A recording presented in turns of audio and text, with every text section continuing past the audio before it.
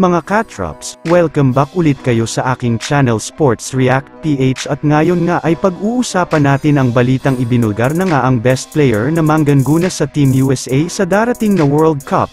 Pag-uusapan na rin nga natin ngayon dito sa ating panibagong video ang update sa sign and trade deal ng Los Angeles Lakers kay Christian Wood.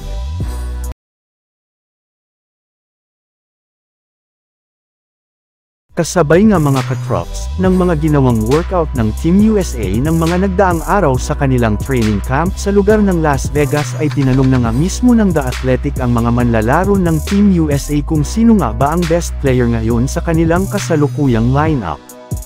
At majority nga ng kanilang sinabi dito ay walang iba kundi ang kanilang bigman na si Jaren Jackson Jr.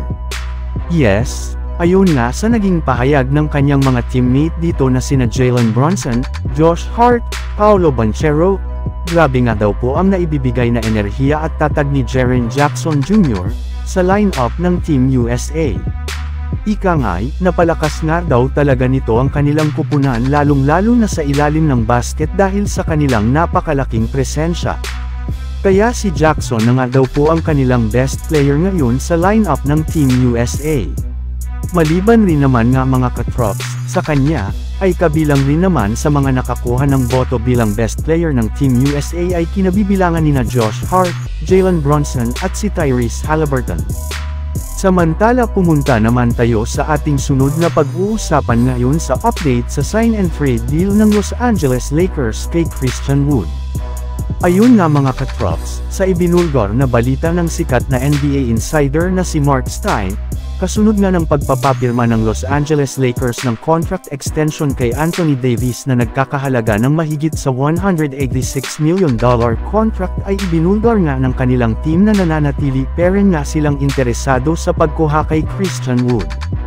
Ang kaso lang, kahit ganuman nga nila kagusto na makuha ito ngayong off-season ay inamin na nga ng Lakers na hindi nila kakayanin na kunin siya sa pamamagitan ng isang sign and trade deal na alok rin naman sa kanila ng Dallas Mavericks gayong kulang na nga sila ng trade assets na isasakripisyo dito. Ang nag-iisang paraan lamang nga nakakayanin nilang kunin si Wood ay sa pamamagitan ng pagbibigay sa kanya ng veteran minimum deal. At dahil nga mga katrops, nahihirapan ang Lakers na makuha si Christian Wood ay may ilang mga kupunan na nga ang nagsilabasan ngayon na interesado rin sa pagkuha sa kanya. At isa na nga dyan ay ang Eastern Conference defending champions na Miami Heat na kailangan rin naman nga si Wood para makabalik ulit sila sa pagiging contender next season. Kaya dahil nga dyan ay kailangan na nga talaga ng Los Angeles Lakers na magmadali sa pagkuha sa kanya kung ayaw nilang maungusan ng ibang kupunan.